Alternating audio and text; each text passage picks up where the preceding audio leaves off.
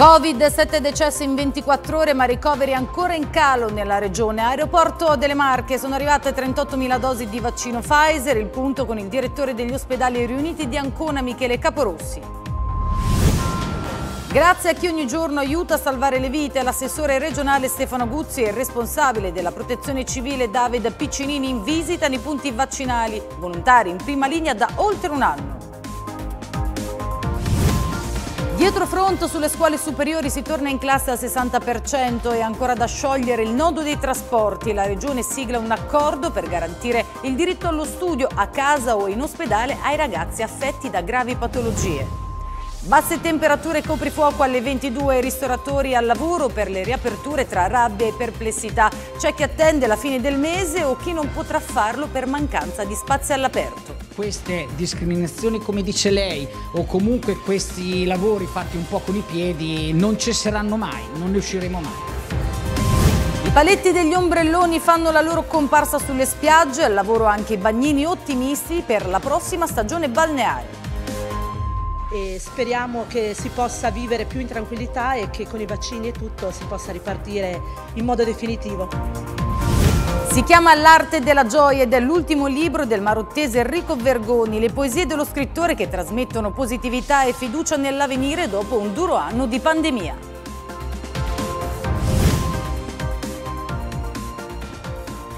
Un cordiale saluto dalla redazione di Occhio alla notizia in apertura sopralluogo al Codman di Rosciano Afano dell'assessore regionale Stefano Aguzzi e del responsabile della protezione civile delle Marche Piccinini. Si è trattata di una delle visite organizzate in giornata per ringraziare i tanti volontari.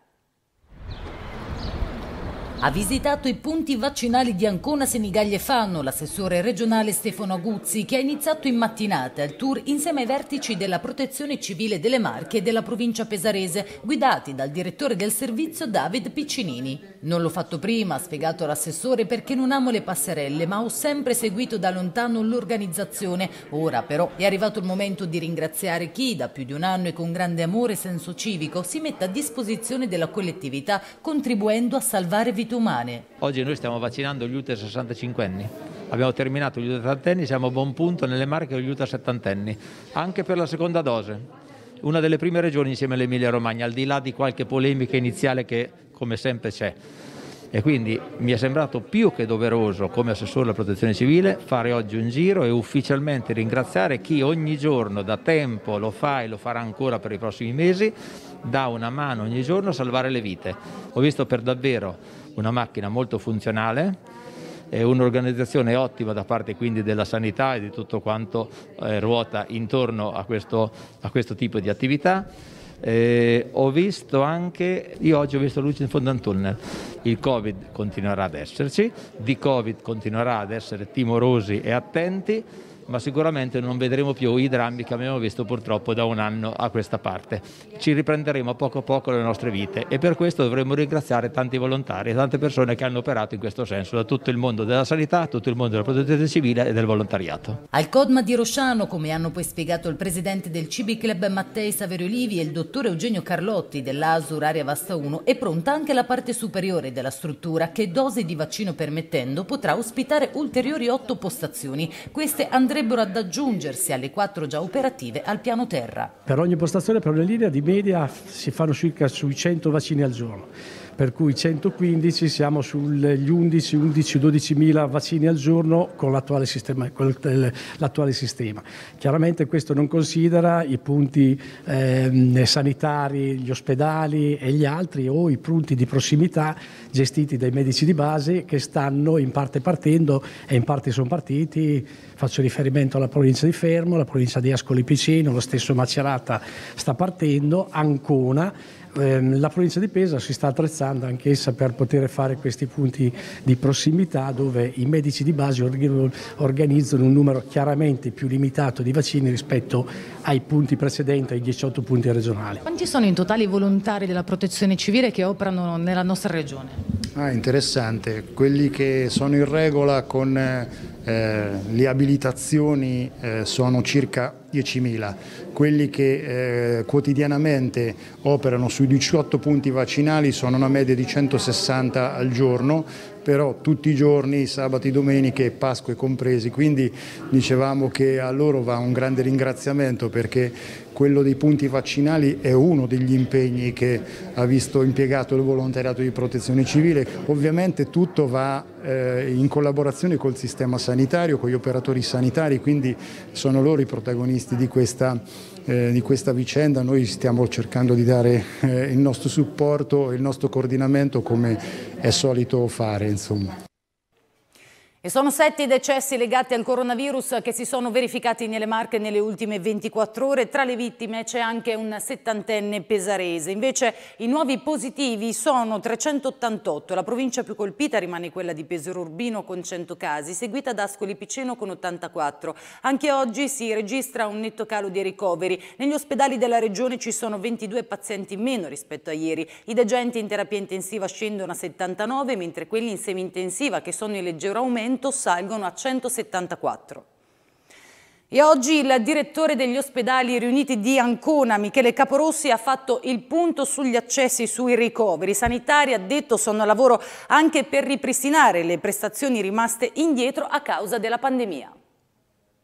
Sì, noi eh, adesso abbiamo un allentamento della situazione rispetto a due settimane fa che, eh, che, è tangibile, considerevole. Gli accessi al pronto soccorso sono molto pochi e eh, abbiamo ancora la coda in quanto eh, tutte le terapie subintensive per esempio sono ancora piene, 28 posti le terapie intensive sono eh, piene a metà, poi ci sono ovviamente i pazienti che sono in, eh, nelle, nelle, degenze ordinarie, però non sono più i numeri di, di prima, eravamo arrivati oltre 150 persone, adesso siamo eh, intorno ai 65-70 pazienti complessivamente. Quello che eh, ci auguriamo è che eh, questo incubo possa finire qui, ecco, e ce l'auguriamo con tutte le forze. Nello stesso tempo noi stiamo eh, ritessendo la tela eh, dell'assistenza ordinaria, di rimettere in campo tutti gli asset eh, produttivi delle varie prestazioni, specialmente di quelle di alta specializzazione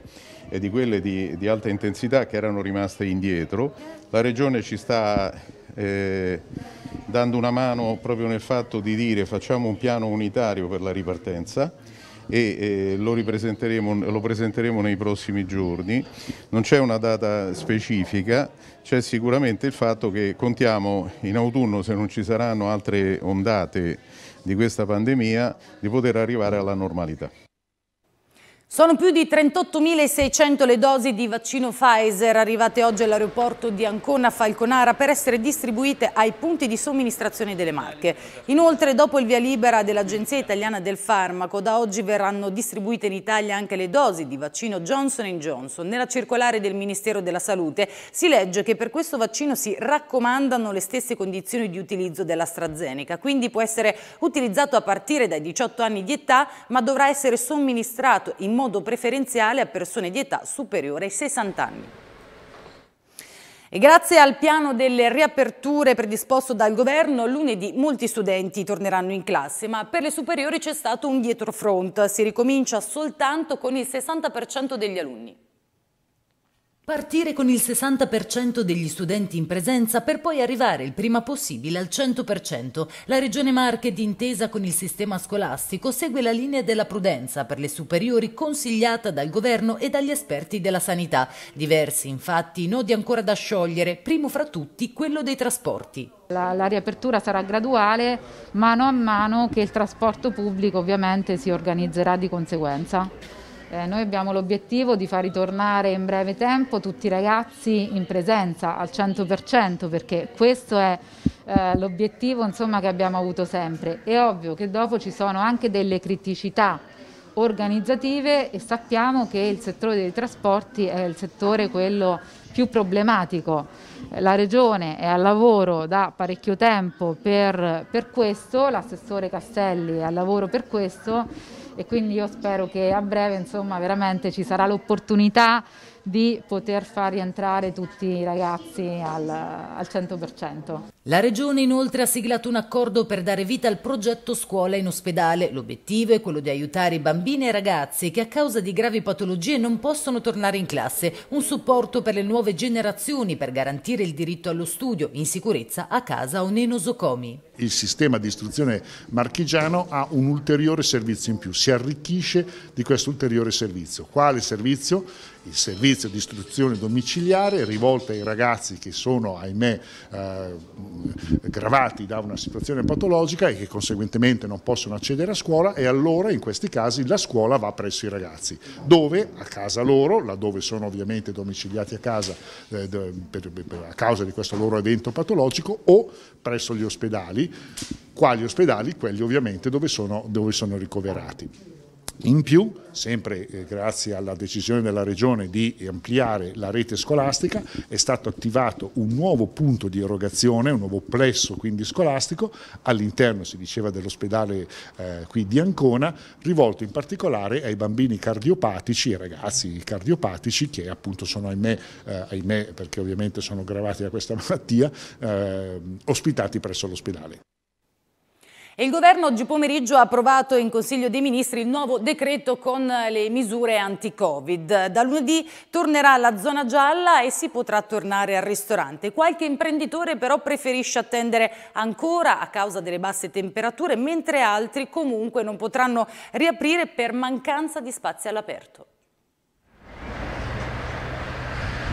Tavoli distanti almeno un metro, personale sempre con la mascherina e menù digitali o in stampa plastificata. Nel calendario delle riaperture che caratterizzano il mese di maggio, i bar e i ristoranti saranno i primi a riaprire, a pranzo e a cena, ma si conferma il coprifuoco dalle 22 alle 5 del mattino. Le nuove norme che si applicano ad ogni tipo di esercizio di somministrazione di pasti e bevande contengono tutte le regole per garantire la sicurezza, evitare assembramenti, distanziamento, privilegiare l'accesso tramite prenotazione e mantenere l'elenco dei clienti per un periodo di 14 giorni. Anche a Fano gli imprenditori sono al lavoro per sistemare i locali tra ottimismo e perplessità, in particolare sulle condizioni meteo. Infatti c'è chi, come Filippo Ravagli, ha deciso di attendere qualche giorno in più e di riaprire l'attività il 28 o addirittura il 30 aprile. Quanti clienti potete accogliere? Ho tutti i tavoli da 4 se sono famiglie o se sono amici sono distanziati almeno di un metro e mezzo, un metro e venti, un metro e trenta da, da, da, nel loro raggio d'azione e mm, posso, posso far star fuori, sono 48 56 persone, dipende se sono tavoli singoli o tavoli da 4. Ma questa cosa solo dell'esterno è un bel problema perché io compro ho riprenotati, chiamo il personale per fare un weekend tipo questo che si sta per aprire del primo di maggio, ma qui se mi fa tempo cattivo, mi fa un colpo di vento oppure fa due gocce di pioggia, eh, io devo disdire tutto. Cioè se io ho un'urgenza quel giorno, mi piove, eh, il minimo posso portarli dentro oppure ciao e arrivederci? Non tutti però potranno ripartire da lunedì, infatti chi non ha gli spazi all'aperto è costretto ad attendere il primo giugno quando sarà permesso il servizio anche al chiuso nella fascia dalle 5 alle ore 18, un duro colpo per chi tiene aperta l'attività soltanto nei mesi invernali. Noi non avendo posti all'aperto rimarremo chiusi, noi siamo a tutti gli effetti un locale stagionale, stagionale invernale, in quanto apriamo i primi di settembre e chiudiamo a fine maggio, non avendo appunto posti all'aperto come ripeto ripeto. E io mi ero già attrezzato dei primi di settembre, come vedete, con questi pannelli in plexiglass, poco invasivi ma molto efficaci e avevamo avuto anche un bel riscontro da parte della nostra clientela che insomma aveva apprezzato molto. Eh, però a quanto pare sono serviti molto poco perché in effetti di nove mesi che siamo aperti abbiamo lavorato soltanto cinque settimane piene e poi la, gli altri periodi dove abbiamo potuto lavorare solo a pranzo. Vi sentite un po' discriminati in questo senso? discriminati. Eh, il problema fondamentale dal mio punto di vista è che per l'ennesima volta sono state prese delle decisioni eh, da persone che comunque non conoscono il nostro settore. Sono nate tante associazioni, eh, sia qui da noi a Fano come Ristor Italia che conoscerete sicuramente, ma in tutta Italia. Io credo che sia giunto il momento che esponenti di queste, ristora- di queste associazioni, che sono a tutti gli effetti cuochi, camerieri, baristi, eh, ristoratori, vadano a parlare, cioè siano ammessi anche loro nei tavoli dove si prendono le decisioni su come riaprire, perché altrimenti queste discriminazioni, come dice lei, o comunque questi lavori fatti un po' con i piedi, non cesseranno mai, non ne usciremo mai. E intanto i comuni si stanno attivando per agevolare bar e ristoranti a riaprire all'aperto negli spazi pubblici. Lunedì 26 aprile inizierà il percorso graduale verso il ritorno alla normalità, dopo l'annuncio del Premier Draghi sulle riaperture di bar e ristoranti ma soltanto con i tavoli all'aperto. Gli imprenditori sono già all'opera per organizzarsi anche con i permessi. D'altra parte i comuni come quello di Fano si sono attivati per agevolare le attività. Tra le iniziative quella di semplificare l'iter burocratico e di concedere un aumento degli spazi pubblici occupati. Innanzitutto il decreto eh, in arrivo insomma, dà sicuramente un'apertura, anche se sappiamo non essere sufficiente perché il momento di crisi economica è davvero pesante, però veramente speriamo che sia l'inizio di un'apertura graduale che porti tutti a lavorare e a lavorare al meglio. E speriamo che questa estate sia proprio il momento di grande apertura che detti la fine di questa pandemia. Quindi la possibilità di chiedere suoli all'aperto noi ci siamo attivati fin da subito, cambiando il regolamento e dando la possibilità di chiedere fino a 100 metri quadrati di suolo pubblico, ci siamo attivati per rendere gratuita la TOSAP e ci siamo attivati con una commissione che si, si incontrerà anche mercoledì proprio per sburocratizzare le richieste di suolo pubblico e quindi eh, emettere i permessi in modo più veloce possibile. Cerchiamo di fare quanto è in nostro possesso per essere vicini alle attività economiche in questo periodo così difficile. Sappiamo che le misure che possiamo fare noi come Comune non sono sufficienti, ma da parte nostra sempre una grande vicinanza a tutte le attività economiche e una possibile ripartenza. Al via le domande per ricevere il bonus palestre, l'aiuto del comune di Pesaro rivolto ai soggetti privati, titolari o gestori di palestre, corsi di fitness o scuole di danza con sede operativa nella città. Gli interessati potranno farne richiesta da oggi fino al 28 aprile. Il bando si trova nell'albo pretorio del sito del comune di Pesaro e coloro che faranno domanda potranno ricevere fino a un massimo di 3.000 euro. Tutti i dettagli li troverete nel nostro sito occhioallanotizia.it.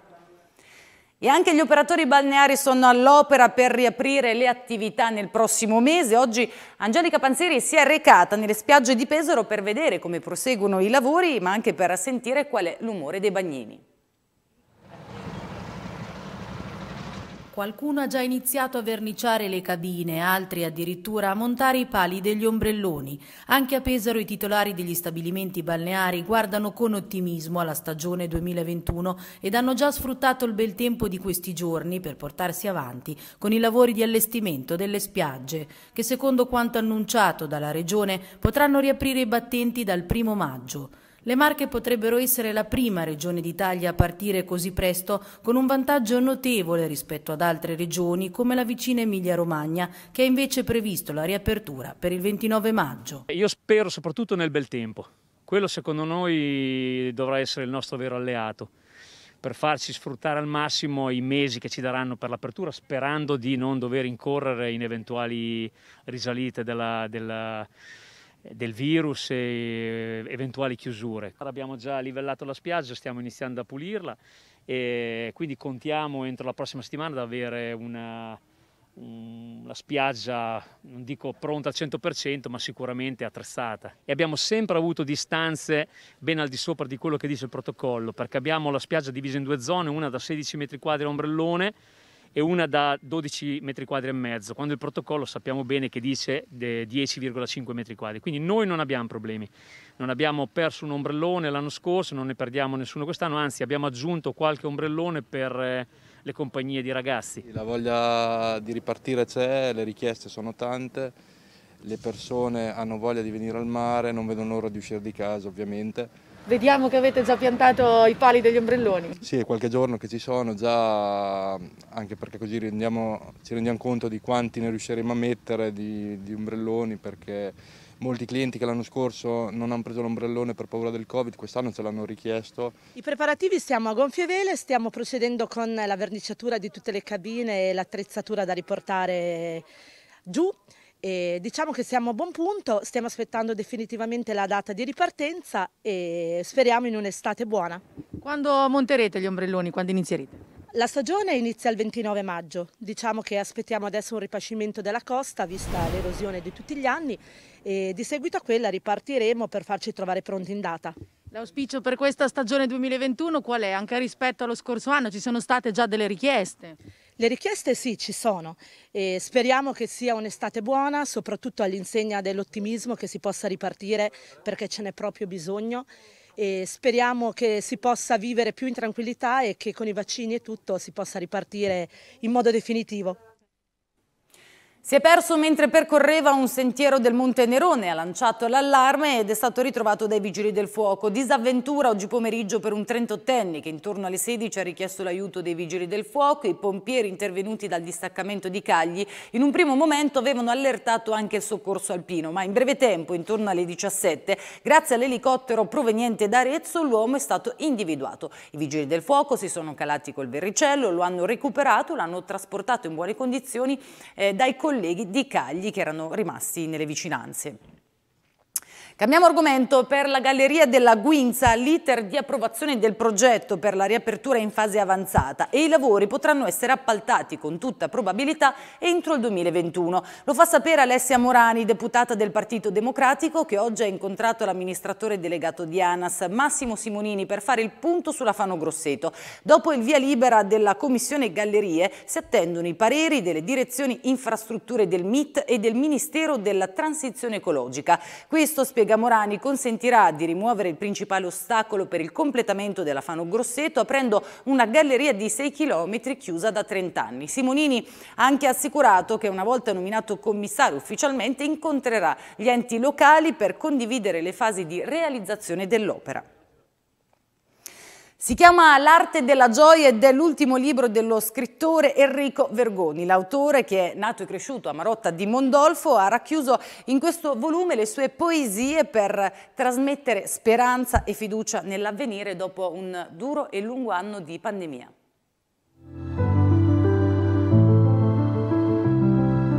Ho scelto questo titolo davanti alle terribili immagini dei camion dell'esercito che a Bergamo trasportavano i feretri delle vittime di Covid. Ho pensato che la poesia, in un momento come questo, dovesse trasmettere speranza e fiducia per l'avvenire, perché ogni inferno ha un tempo solo, ma poi la vita ricomincia sempre. La gioia, se le diamo spazio, riprende a invadere le nostre giornate.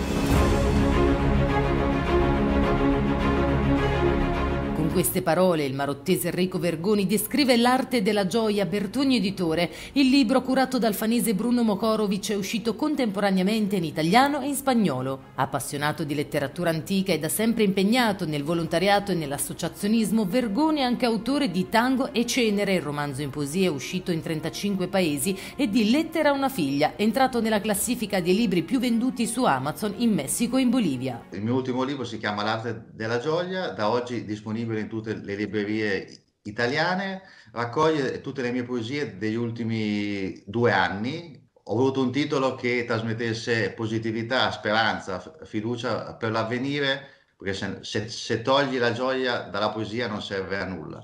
Poi perché penso che in un momento come questo, che è un periodo molto simile al dopoguerra, occorra ricostruire. Viviamo in un paese che ha bisogno di ricostruirsi dopo questo anno tremendo, quindi l'arte della gioia come prendere in mano il proprio paese ricominciare più forte di prima. Dal prossimo anno scolastico, prosegue Vergoni, avrò l'occasione di presentare il mio libro anche nelle scuole d'Italia, da Milano a Messina, grazie alla collaborazione di istituti e associazioni culturali. Intanto, quest'estate, Enrico farà tappa in decine di librerie e di teatri. Un poeta senza pubblico così come un, un, musicista o un attore è sterile, non serve a nulla. Quindi andiamo in mezzo alla gente, torniamo do, dopo un anno di di clausura torniamo finalmente in mezzo alle persone.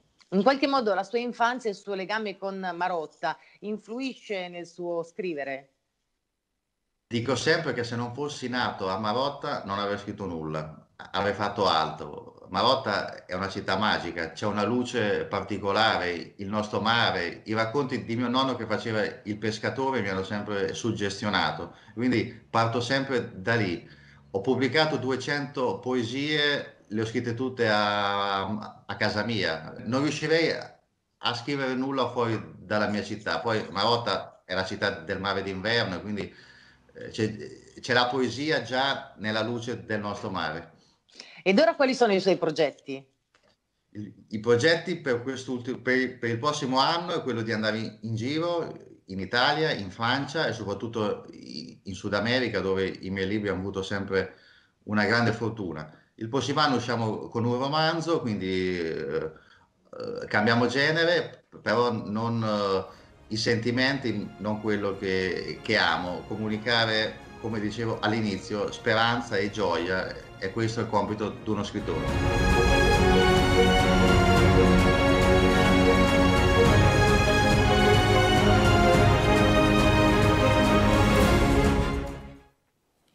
E adesso diamo spazio alle vostre segnalazioni che oggi ci portano a Lucrezia di Cartoceto, dove ignoti hanno gettato diversi sacchi contenenti pannelli in plexiglass e 15-20 rotoli di lana di vetro sulla riva del fiume Metauro. Ho già segnalato l'abbandono di questi rifiuti al sindaco Enrico Rossi, ci ha scritto il nostro telespettatore, ma a distanza di un mese nessuno ha fatto niente e i sacchi sono ancora lì, tra l'altro con il rischio di inquinamento ambientale. Poco distante, poi, a circa 400 metri, c'è stata segnalata un'altra discarica, cioè aperto tra i rifiuti ci sono le tavole di legno, vernici, zaini e materiale di vario genere.